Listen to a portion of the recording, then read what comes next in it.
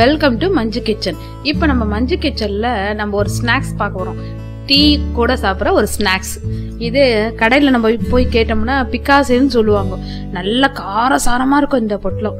இப்போ இதை நம்ம எப்படி செய்யுதுன்றதை பார்க்க போகிறோம் ஒரு கப்பு கடல மாவு அரை கப்பு அரிசி மாவு.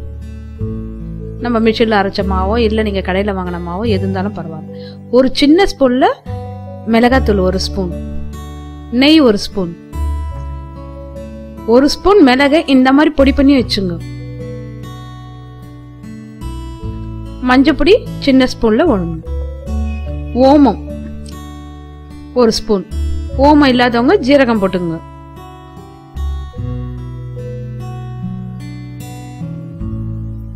கொஞ்சம் பெருங்காயத்தூள் உப்பு. தேவையான அளவு உப்பு.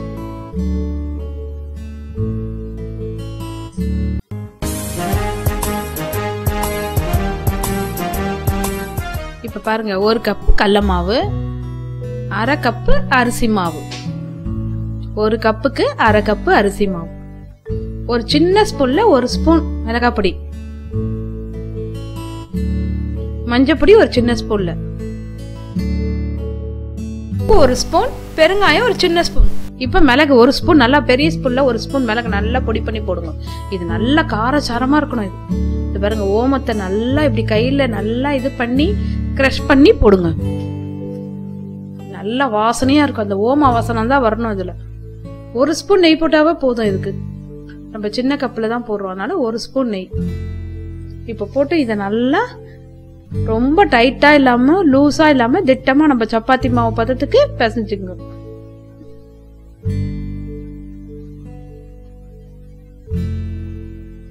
அந்த நெய் எல்லா இடத்துல கலக்கணும். அதுக்கப்புறம் இப்போ தண்ணி போட்டு பிசைஞ்சுக்க போகிறோம்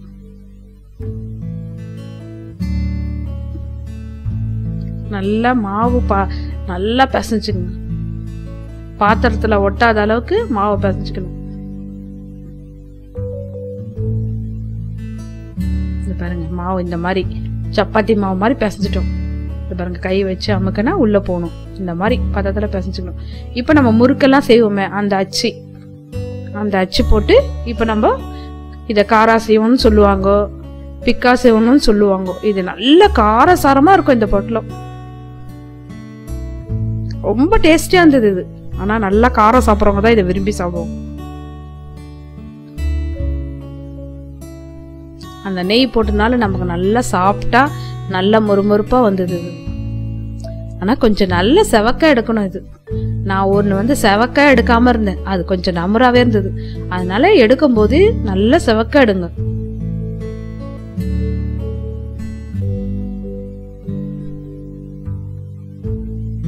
இப்போ பாருங்க எண்ணெய் நல்லா காஞ்சிச்சு. நல்லா பெரிய முறுக்கு மாதிரி போட்டுருங்க. நம்ம அப்புறமா தூள் பண்ணிக்கலாம்.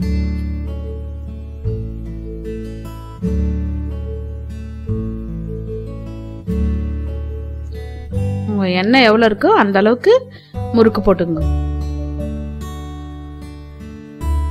பாருங்க நல்லா உள்ளெல்லாம் கொஞ்சம் நல்லா வேகட்டும். நல்லா உடைச்சு விட்டு கூட நீங்க வேக வைக்கலாம்.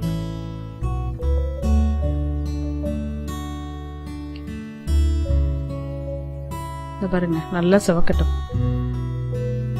இந்த மாதிரி எடுத்து விட்டோம்னா முறுக்கு நல்லா வேகும். மொறுமொறுப்பா வரும்.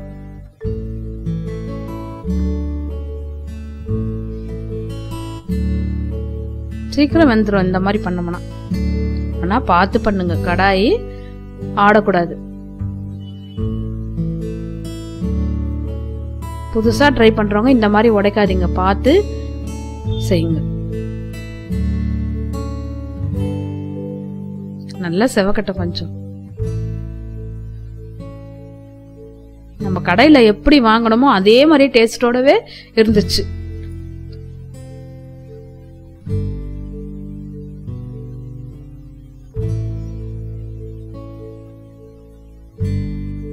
அந்த ஓமத்தோடைய ஸ்மெல்லும் அந்த பெருங்காயம் இதெல்லாம் போட்டு நல்லா இருந்துச்சு. நல்ல டேஸ்டா இருந்துச்சு இந்த இது.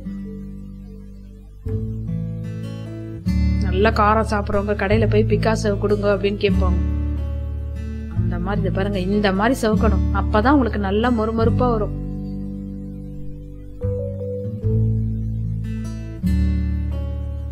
கலர் நல்லா மஞ்சளா இருக்குதுன்னு சொல்லிட்டு நீங்க எடுத்துட்டீங்கன்னா அது உங்களுக்கு நமரா இருக்கும். இந்த மாதிரி கொஞ்சம் கலர் மாறினாதான் இந்த பிக்காசோ நல்லா இருக்கும். இப்போ இந்த டீயோட சூப்பரான ஒரு ஸ்நாக்ஸ் டீ டைம்குள்ள இதை அழகா செஞ்சிடலாம். டீ போறதுக்குள்ளவே இந்த ஸ்நாக்ஸ் Thank you.